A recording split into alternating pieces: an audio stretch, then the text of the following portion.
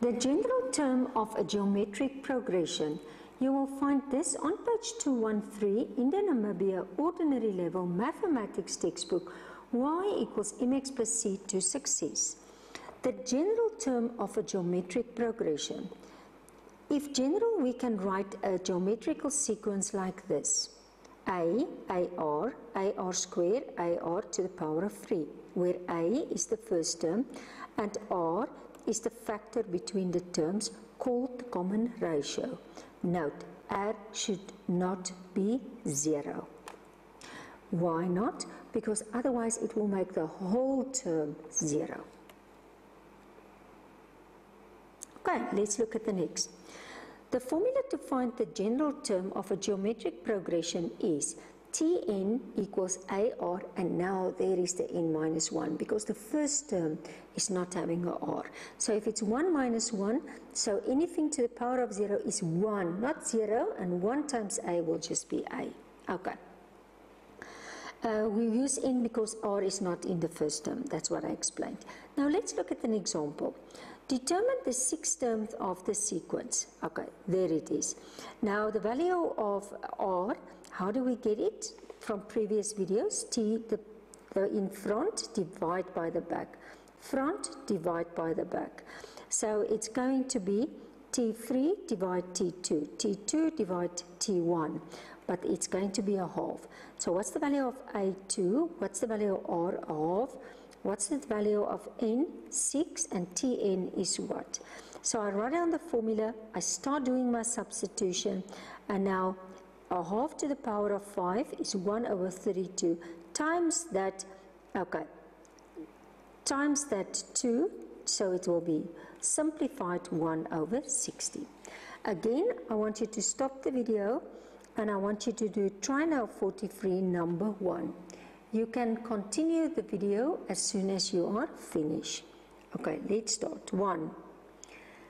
So it's 5, 15, 45, 135, and it's moving on. Now, this is the first term, this is the second term, this is the third term, this is the fourth term. So if I start now, so if this is the sequence, then I'm going to say that the value of A is 5. The value of R is going to be T3 divided T2 must be equal to T2 divided T1 which will give me T3 45 divided 15 must be equal to 15 divided 5 and that will be equal to 3. So the value of r is 3. Then the value of, of um, let's just see, what are they asking? n, the value of n is 7 and I'm looking for t7. Okay, so start first with the formula tn equals a or n minus 1. Okay, and in then it's t7. In the place of a, it's 5. In the place of r, it's 3. And because it's 7, it's 7 minus 1. So it's 5, 3 to the power of 6. And now if I'm going to work, work this out, um, it will be 5 times 7 to 9, and that will give me 3, 6, 4, 5. That will be my final answer. Okay, let's move on. Find n in a geometric progression. Determine which term in the sequence is equal to 162. So in this case, I'm going to, to uh, okay, I'm finding n and I know that Tn is 162 and I want to find that value of n. So again, um, if I'm looking at it's a GP, so R is also 3, A is 2, Tn is 162, and N is what? So I just do my substitution, now just be careful. You are working with indices. So in this case, you must first isolate that. So that's why you divide by 2 on both sides. And now you can either do it with logs Or you can do it with indices. Now in this case, indices will work because I can make the bases the same. Then 4 equals this, I take it over and the value of n will be 5, so the fifth term is equal to 162.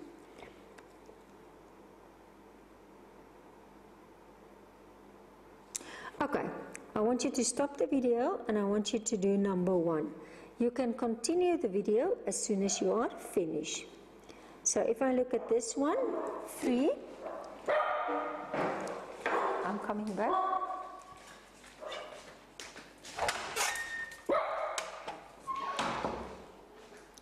Okay, let's continue. Three, six, twelve, three oh seven two. How many terms are there? So I'm looking for that term, the value of n. Now let's start first. Remember this is 1, this is 2, this is 3. So if I want to find the value of a will be 3. The value of r and it must be equal to see if it's a GP. So T2 divide T1 must be equal to T3 divide T2. It's actually always, in this case, they tell you it's a geometrical progression. But if they don't tell you anything, the best is to first test and then to continue. But in this case, it's going to be 6 over 3 is equal to 12 over 6. And the answer is going to be 2. And then the value of Tn is that 3072 and I want to find the value of n. So if I start, I'm going to say start with the formula Tn equals A or n minus 1. So in the place of Tn, the 3072, in the place of A, 3, it's good to put it in brackets, and then it's going to be 2 and I'm going to find that n minus 1. Okay, now isolate that. So first divide 3 and divide 3. So I'm going to get 1024 equals 2 to the power n minus 1. And again, what can I do? I can try to solve it first with um, um, indices. So if I take that 124 it's almost like you just take the 1 to 4 and you start dividing by 2, okay, and by 2. But the answer will be, in terms of prime factors, it will be 2 to the power of 10.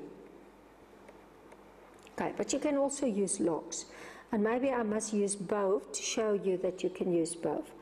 Okay, I think I'll first do finish this one. So 2 to the power of 10 equals 2 to the power n minus 1. So the bases are the same. So 10 equals n minus 1. So n equals 11. Or I can do it like this.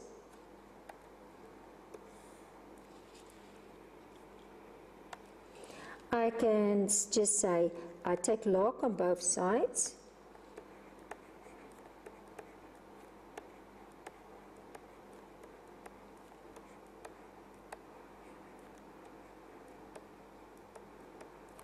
So it's going to be log 1024 equals n minus 1 log 2.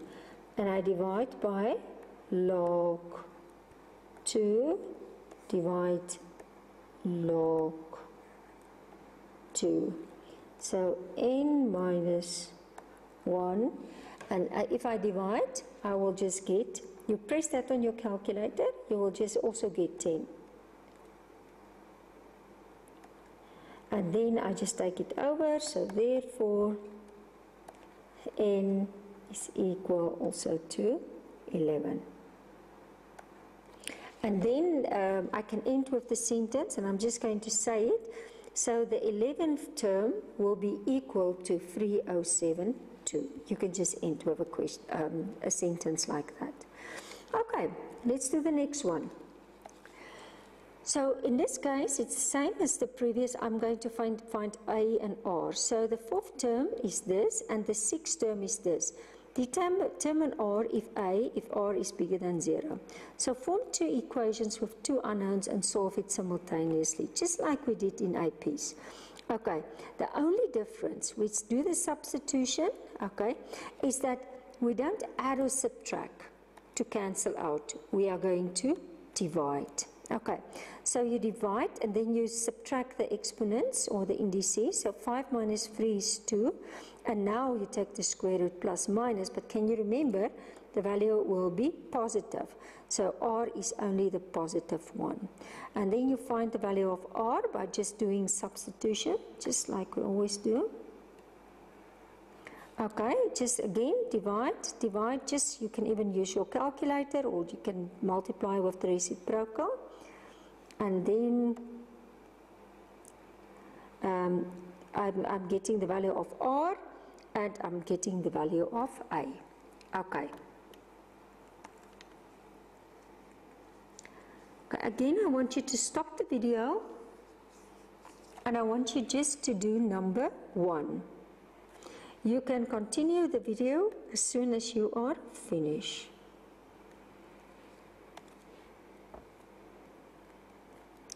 Uh, the second term, okay, so this is number one. Okay, the second term is equal to negative 12. And the fifth term is equal to 3 to 4. Okay, so the second term, so now I can just start writing. Remember the formula? I'm just going to write it here. Tn equals A R n minus 1. So I'm going to say Tn, so it's going to be negative 12 equals A and now R and N is 2 minus 1. The same here. Uh, 3 to 4 equals A or 5 minus 1. Negative 12 is equal to A or 3 to 4 is equal to A or 4. So this is 1, this is 2. So I divide. Now, it's almost like you're going to say 2 divide 1. That's what I'm doing. So if I divide negative 12 and I divide by AR, this is now, I'm just going to keep to my color, this is 1. So by doing that, okay, I'm going to get negative 27, just want to get my green again, negative 27 equals r to the power of 3. So r equals negative 27, 3. So therefore, r is equal to negative 3. Okay. And then I'm going to continue. So the, okay, this is the common difference. So the first term, I'm just going to, yeah, I'm just going to make a line there. I don't like it if the lines is not straight.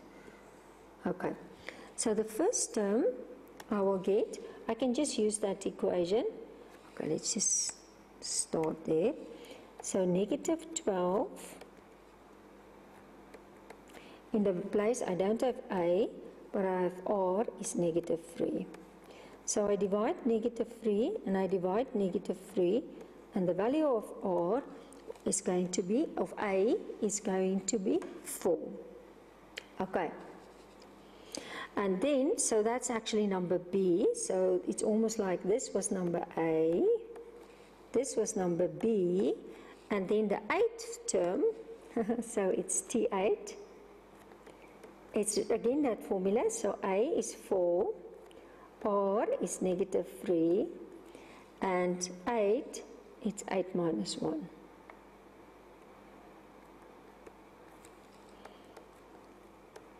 That's 4, negative 3, and it's to the power of 7.